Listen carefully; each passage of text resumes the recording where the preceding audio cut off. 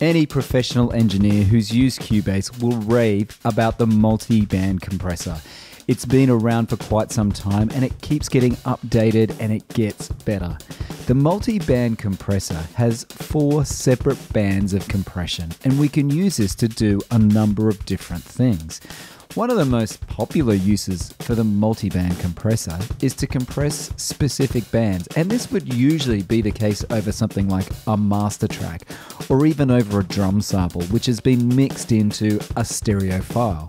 So, a few of the things that we can do with a multi-band compressor is change the frequency bands. So we've got four bands and we can use the handles in between to widen and narrow these bands. We can adjust the output volume and we can use a live view mode, which will mean that the software or the plugin will look ahead, which also increases latency. We can bypass individual bands and we can solo individual bands to hear what's going on inside. In terms of what we can do with the actual bands itself, well, it's fairly similar to a traditional compressor. We've got a threshold, so we set the threshold and tell the compressor where we want it to kick in. The ratio says how much we compress, and down the bottom, we've got an attack and release parameter. So we can have a very quick attack and we can choose our release and we can also specify to have the software use an auto release. There's a number of ways we can operate the multiband compressor. At the moment, I'm using my mouse and I'm simply picking up on the parameters down the bottom. And as I do so, I see a change in the gain reduction and also in the metering. But I obviously need to be careful that I'm not clipping out the channel or my master channel on the mixer itself. So that's always something to bear in mind when you're controlling the output. Now, the other way to control the parameters is to simply pick up on the handles using the mouse. So everywhere you see one of these little dots, it means you can pick up on it and adjust something.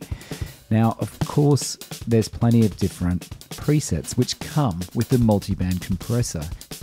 Some of these presets are for very specific instruments or purposes, so you can get some idea of just how useful the multiband compressor is.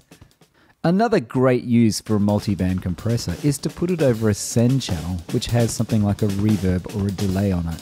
So you can get in and compress very specific frequency bands, which is going to give you a very different reverb sound. So for instance, if you wanted to really tighten up and compress the lower end on a reverb, then you can use the multi-band compressor to do this. The cool thing about a multiband compressor, and this is what makes it different from an EQ, is we're actually saying to the multiband compressor, hey, within this very specific frequency range, we want to limit the difference between the softest and the loudest parts of this specific track. So rather than say with an EQ where we're basically lowering the volume, what we're doing is almost squashing it, and then we've got the ability to raise the volume. So we can even raise that part even louder. So it doesn't actually need to be softer in the mix, it's just going to limit the dynamic range. At the moment, I've got this multi band compressor over the top of my master channel, which, like I said earlier, is one of the most popular uses for the multi-band compressor.